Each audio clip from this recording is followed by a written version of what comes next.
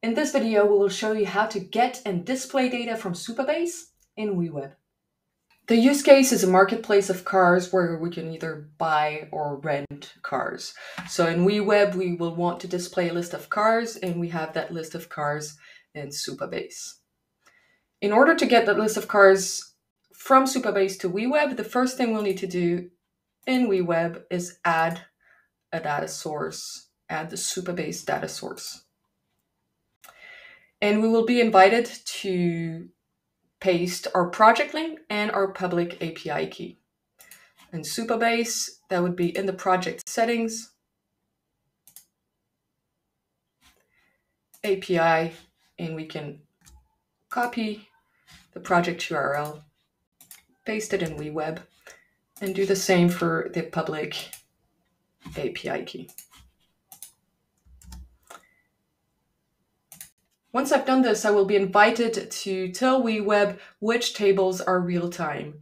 Note that toggling this on in WeWeb will not enable real-time in Supabase. If you want your tables to be real-time, you need to activate that option in Supabase, and then you can tell WeWeb if you want to use that real-time feature or not.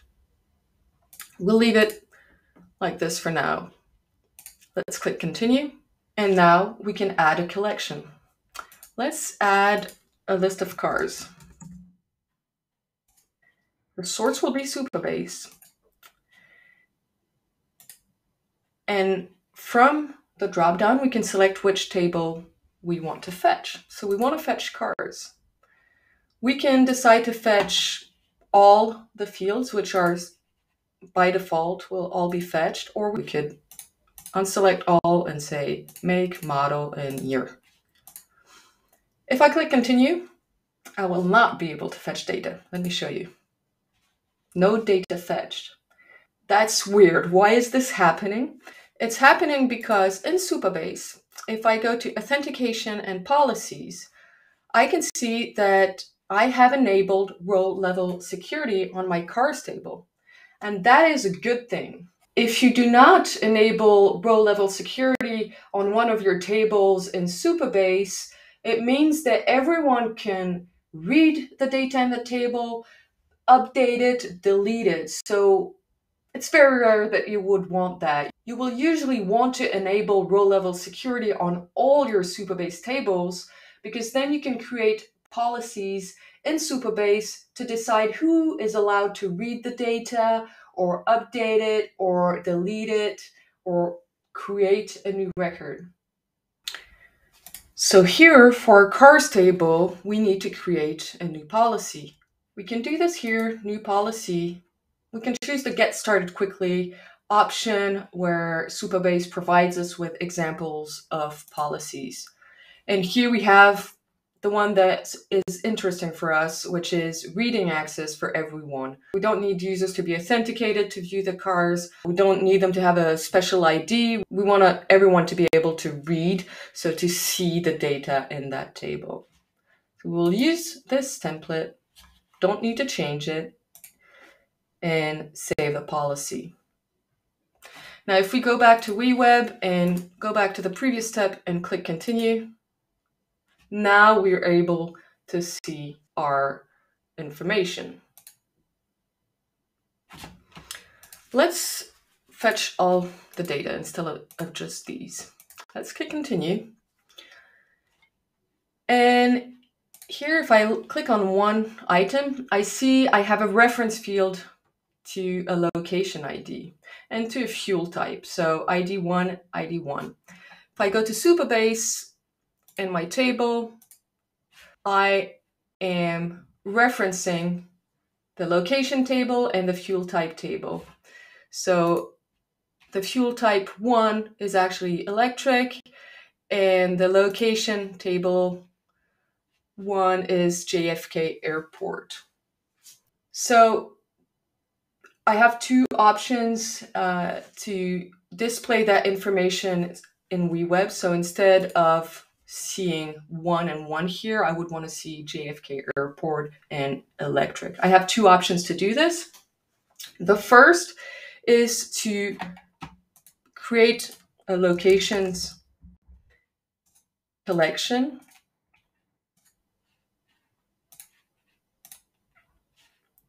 And then I will be able to do a lookup between a car and a location. And I will show you this a little bit later in the video.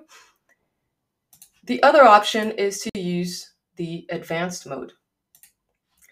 So in advanced mode, I have to list all the fields that I want from my table. So for example, I want make, model, and year. So I will say make, model, and year. And I can also reference, get the information from another field. So here, my column is called location ID.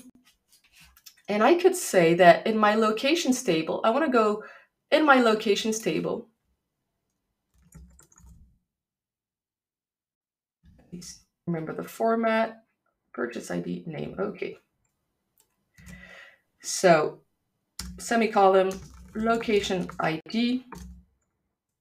So this is the name of the reference field in my cars table, which I have here. And then in parentheses, I will may I will say what column I want here. So the name. Let's try this name. And now if I click continue, instead of having one, the ID of the reference field, I can click in there and I have the name value of the locations table. It's very tempting to use advanced mode to fetch all the data you need for a single page, but bear in mind that you want to avoid loading data in the user's browser multiple times. So if you're going to be using the location information very often or the um, fuel type very often, it's recommended to create a collection and use a lookup formula in WeWeb to make that link. That way you're loading each data set only once and making the references in the front end only when you need them. This can be helpful when your project scales and I invite you to watch level two of the WeWeb Academy to learn more about web development best practices when it comes to security and scale. Now, in my case, I will want to use the lookup approach. So I'll go back to guided mode and I will select the information I want. Um, I don't need the created at information. I don't need the VIN number and I don't need this ID. So I'll click continue. And in this case, I don't need pagination. I only have three items. We have dedicated videos on pagination. So we'll just leave it at that for now. To display this data, these three items in WeWeb, I have a page and with a collection list. This could be any container, but I have a parent container, in this case, collection list, and a child container. And this child container will be repeated as many times as there are items in the parent container. So we'll bind my collection to the items. I'll get the cars here. And now you see that on the page, I have three items, even though I still only have one child container in my HTML tree. And once I have these children elements, I can go ahead and bind to my item data. And I can use little formulas to say, for example, Tesla plus, I'll use a space, and then model X. That's one way of doing it. Or I could use the concatenate formula, which is here. So I could use concatenate. And the way it works is you just list all the text you want. So I will say Tesla, and then the second I want a space, and then I want to say Model X. Here I can bind directly to the year and number of miles, the mileage, so plus space miles. And if I wanted to format this so it has a separator with a comma for every thousand, I could use a custom formula. So here, for example, I have a formula where the parameter is a number, so I can test with, let's say, 12,000. And in this case, I found a little uh, snippet. So here I'm referencing, I'm saying, let me show you in formula.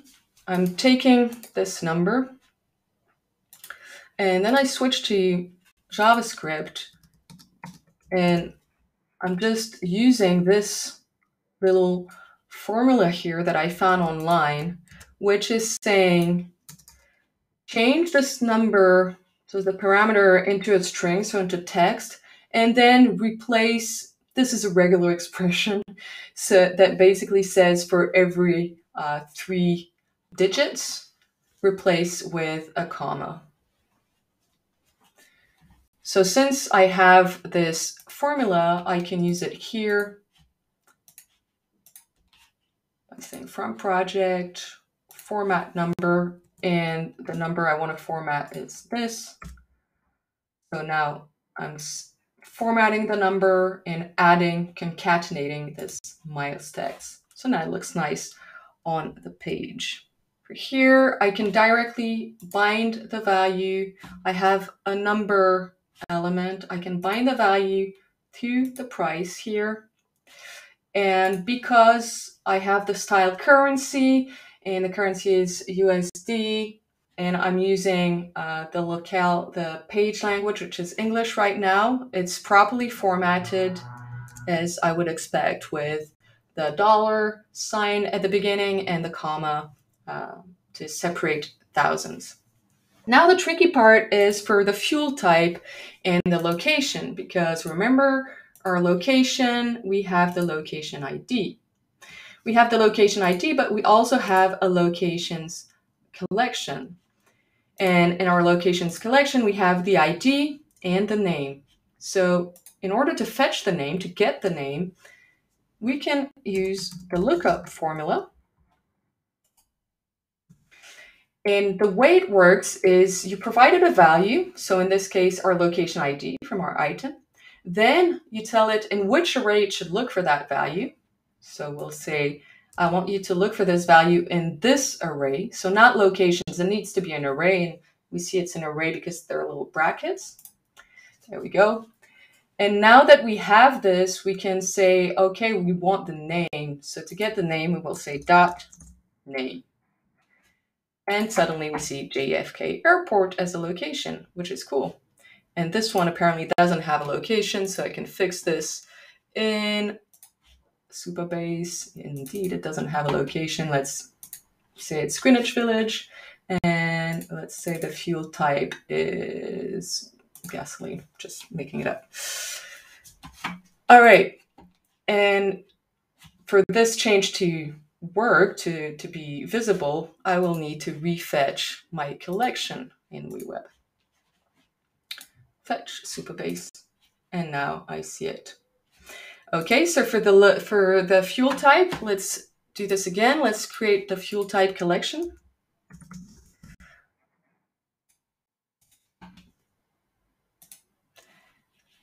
The fuel is here, and what information do we need? We need the ID and the type. We don't need when the information of when it was created. We don't need pagination, and we're done. So now that we have this information, we can say here, look up. And by the way, we can also find this formula here in the array formula. So we have lookup, lookup array, and roll up that are kind of similar. So look up the fuel type ID in the fuel type collection we just created, but in the data in the array in the list of fuel types. And then send me back the type I want. This type, electric. And now you see like electric has is all lowercase, so I have two options. I could use another no-code formula here. called uppercase. I could wrap this around my formula. Or I could use capitalize, which is probably what I would want.